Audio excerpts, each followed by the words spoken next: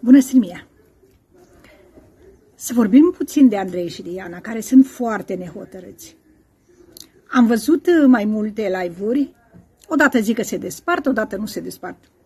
Eu nu mai înțeleg nimica. Știu că el a plecat în țară, dar se pare că încă țin legătura. Acum două zile, parcă, ziceau ne-am despărțit definitiv. Să știți că noi, cu Andrei, împreună am luat decizia să ne despărțim și să nu mai existăm ca cuplu. Este o decizie, cum ziceai tu, irrevocabilă când vă la mireasa. Așa. Și cred că, nu știu, cel puțin eu Uh, în detalii nu vreau să mă adâncesc și consider că acest lucru este prea personal. Deja dacă Andreea se considere necesar să adâncească și să povestească de ce și cum și mai departe, a să fie alegerea lui. Așa. Asta nu e lucru bun, să fii nehotărât. Trebuie să știi ce vrei. De fiecare dată trebuie să știi ce vrei. Nu, ne despărțim, nu ne despărțim. Ne... Bun? Hai. Eu te iubesc. Ce te iubesc? Și vorbim. Vă pupăm și mulțumim frumos că ne-ați fost alături și ținem aproape. Ne căsătorim, nu? Eu n-am înțeles nimic până acum din relația lor și nici mă prea interesează. Au fost în uh, sezonul trecut. Ce rost mai are să mai vorbesc despre ei? Uh, știți de ce vorbesc despre ei? Pentru că mi s-a cerut. Sunt oameni care vor să audă noutăți despre ei, dar, dar nu, nu știu nimic concret, pentru că ei sunt foarte confuzi, chiar ei sunt. Deci, și nu știu pe cine mă interesează. De ce ar trebui să mai ne intereseze? E viața lor, nu mai sunt concurenți.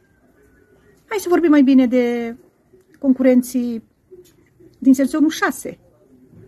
Am fost întrebată și de alți concurenți din sezonul 5, câștigătorii. Nimic deosebit că își fac totul împreună, au făcut cina, așa urma și la căței.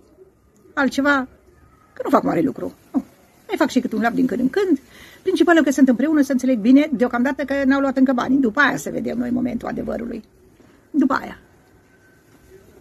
Până acum e totul ok și să vorbim de concurenții noștri, Damaris și Sebaidin să cunosc, vor să se cunoască, să plac și vor să se cunoască. Acest un lucru foarte bun. Pentru că, v-am mai spus, părerea mea e că se potrivesc, se potrivesc foarte tare amândoi. Să se cunoască, chiar i-aș vedea în finală, de ce nu? De ce nu să-i văd în finală?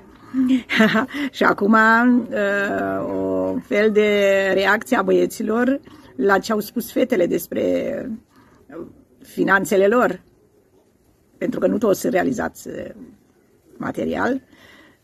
Chiar au comentat, mai ales Valentin, nu le convine. Păi cui îi convine, mai ales la bărbați? Nu le convine să se întreb de situația materială, cu toate că e foarte importantă, să știți, e foarte importantă. Chiar foarte importantă, pentru că nu poți trăi fără bani, fără muncă. Eu am o vârstă că ar fi trebuit să ies la pensie și o lucrez, pentru că nu pot altfel, nu pot care pensie? De unde? Și cât îmi dă dacă aș ieși, să spunem? Foarte puțin. Ce să faci cu banii aia? Eu sunt învățată să cheltuiesc aici. Eu sunt învățată cu bani mulți de câțiva ani. Nu, mie nu mi-ajunge pensia, să zicem că aș putea lua de România. Nu, nu, nu, nu mi-ajunge. Am văzut-o și pe Miruna și Cosmin, că vorbesc. Uh, el îmi liniștit. Până acum pare liniștit. V-am spus, sunt foarte la început. Sunt toți la început. Încă nu putem să ne dăm seama de caracterul lor. Încă nu putem să știm. Sunt o săptămână, două, abia mai încolo, când o să înceapă să se cunoască, o să izbucnească și conflicte. Acum, toți sunt amabili, pentru că nu se cunosc. Și această Mirună vorbea de fostul ei, care și că a înșelat-o. Păi, la ce s-ar fi așteptat? Există bărbați să nu înșele? Poate unul la mie. Dar majoritatea înșeală. Trebuie să facem o tragedie din asta. Putem să-i plătim și noi cu aceeași monedă sau, dacă nu, găsim alte metode să ne răzbunăm. În caz că aflăm. Pentru că sunt unii atât de discreți că nu putem afla dacă ne înșală sau nu. Nu, nu putem. Iar uh, fetele a început să întrebe mamele dacă există dragoste peste 50 de ani, ce legătură are una cu alta? Ce legătură are? Ce are vârsta cu iubirea? Eu nu văd. Adică există o limită de vârstă. Poți iubi până la 30 de ani, să spunem. După aia gata, nu mai. Că e obișnuința. Și dacă e obișnuința, ce? Ce dacă e obișnuința? Dacă e de la început, iubirea adevărată durează toată viața. Nu că se termină, gata, ai făcut 50 de ani, nu mai iubești pe nimeni, e obișnuința și te plictisești, nu e adevărat. Te plictisești dacă nu iubești, dacă iubești, nu te plictisești. Ce, ce întrebări și pe fete? Au răspuns uh, Gica Caterina, dorm cu fetele, dorm cu fetele, păi sunt multe mame, patru sau cinci în dormitor, cinci da și mai două da, că o să mai vină una. Mie nu mi-ar fi plăcut să dorm cu fetele în dormitor, nu, nu, nu. Eu am dormit bine unde am fost. Oricum am fost uh, printre primele care am intrat în cameră în sezonul 2, eu și cu Mirela. Și am văzut că și mamele își fac uh, datoria, sfătuiesc băieții, nu, ai grijă de aia, ai grijă de altă. Uh, vorbeau de video show, cum le zice, alea, cum fac fetele, iar nu le știu. Vedeți? Dacă nu sunt obișnuite cu, cu așa ceva să aud.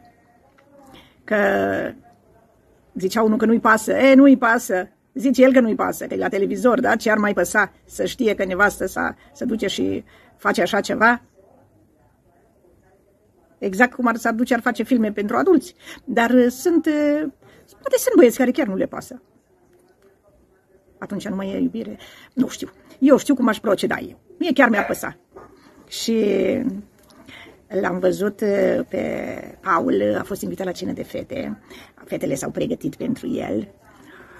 Păi asta e în program, fetele se invite un băiat. Ori le place, ori nu le place, staful le face un program.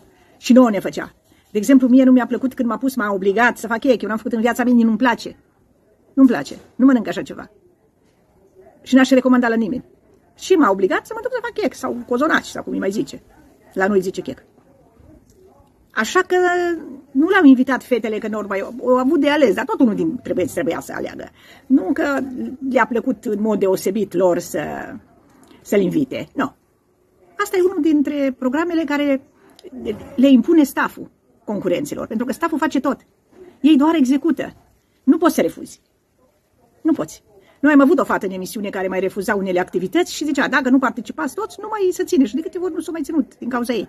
Nu mai dau nume, că nu vreau să mai mi pun în cap, în caz că să uite, să știe ea. Dacă nu se uite, cu atât mai bine să nu se uite. Și am văzut și un uh, live de-a lui Robert, m-am uitat. Uh, nu l-am plăcut nici în emisiune, în sezonul 5, și vorbește foarte vulgar, nu-mi place, nu-l plac nici acum. Uh, nici fetele, nici băieții vulgari nu-mi plac, nu.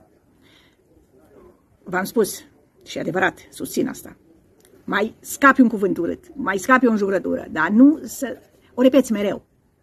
Nu. Că se întâmplă, te mai enervezi, mai zici ceva ce n-ar trebui. Dar când e un mod de a vorbi așa vulgar, deja... Cam atât am pentru astăzi, pentru voi. Vă rog să vă abonați la canalul meu, să apăsați clopoțelul, să dați like, să dați share și o să ne revedem cu alte informații. La revedere!